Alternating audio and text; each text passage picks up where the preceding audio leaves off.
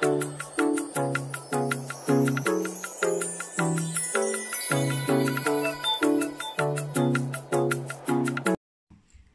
guys and welcome back to my youtube channel. If you are new here you are welcome. My name is beauty. Guys please if today is your first time coming across my video please don't forget to hit the subscribe button like and also share and don't forget to turn your no notification bell so that anytime i upload a video you will be the first to know. So guys today i'm going to be making my yam and beans porridge. So i just decided to take you guys along. Over here i have my beans which i'm going to be using. I have the black eyed beans. While here is my yam so this yam i peel it and you know put it in my store it in my deep freezer. So i still have one left which i'm going to be adding to it. While here is my red pan oil. I have here my crayfish and two Knorr cubes which i'm going to be using. While here is my tomatoes so i don't have the fresh one so i decided to use this one. Along with onions four little onions and two scotch bonnet pepper. While here is my salt and black pepper over here is my fish. So i don't have the real dry fish. So i dry this one myself. So i'm going to deboil it and add it to it guys.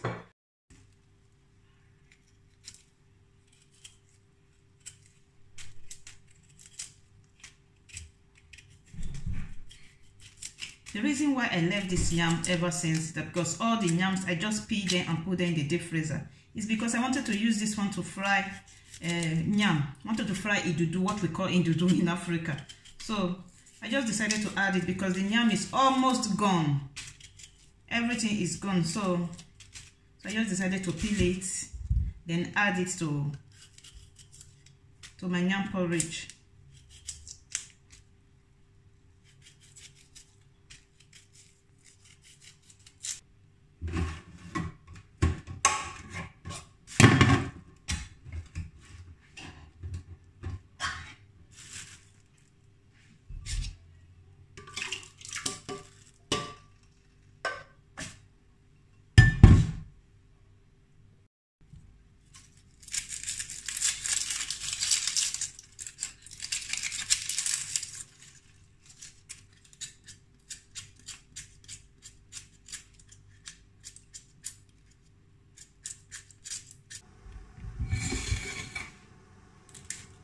so this is my fish. I'm just going to deboil it. Remove the bone out of it.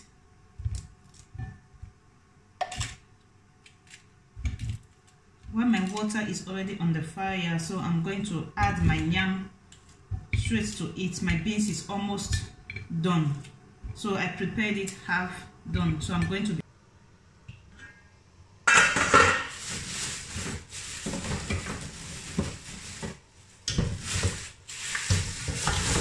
adding my yam to the pot.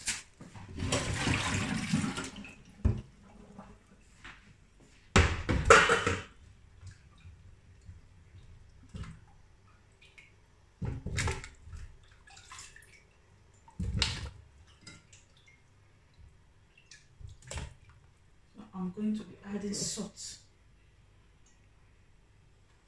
Salt and my black pepper to it. Then cover it.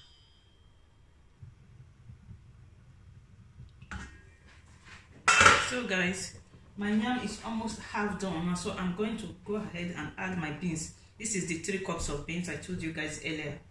So i washed it then. I first of all soak it for one hour before you know adding it to the pot then just cook it half done. So i'm going to leave it to come to a simmer at least 10 minutes before adding any other thing to it.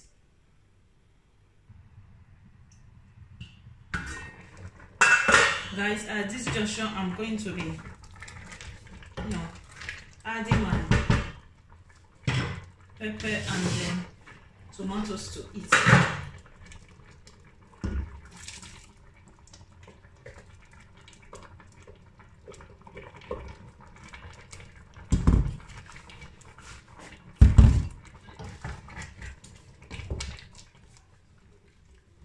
just going to give it a stir.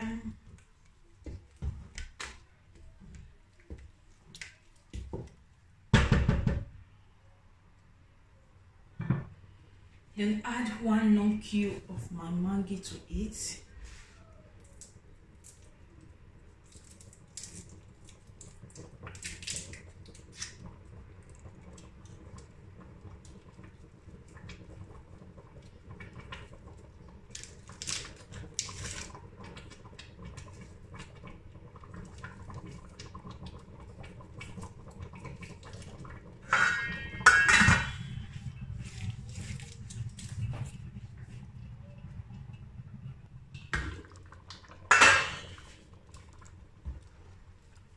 Going to give it a stir because at this moment you need to be very careful so that it will not get burnt.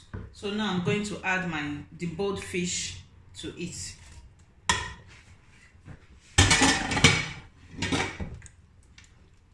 I'm still going to add my teaspoon of crayfish to it.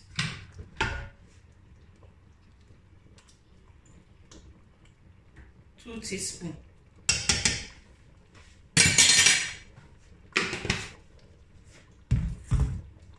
Then just give it a nice stir.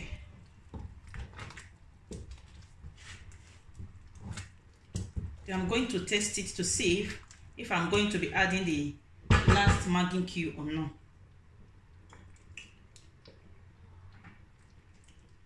very spicy guys. This is what i need for this weather because the weather here is very cold. So we need something spicy. So i'm going to add it as the last Knorr cube to it remember guys i've already added one before. So this is the last one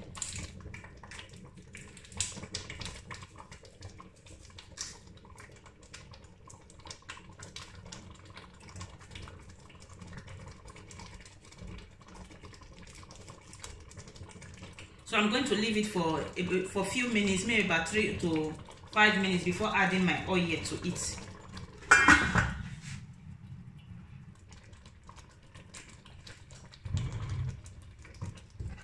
At this time guys you need to turn down your gas eh?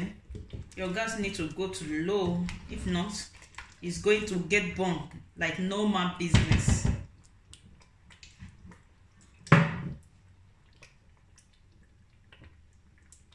remember we are in cold weather here so my oil is very you know.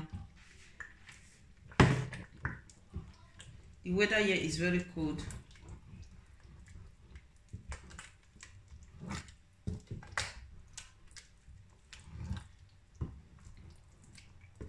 So i'm still going to add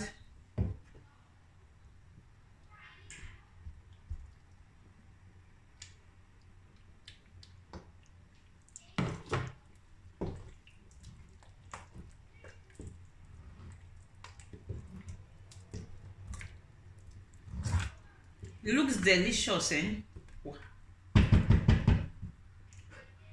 In the next five minutes, it will be okay.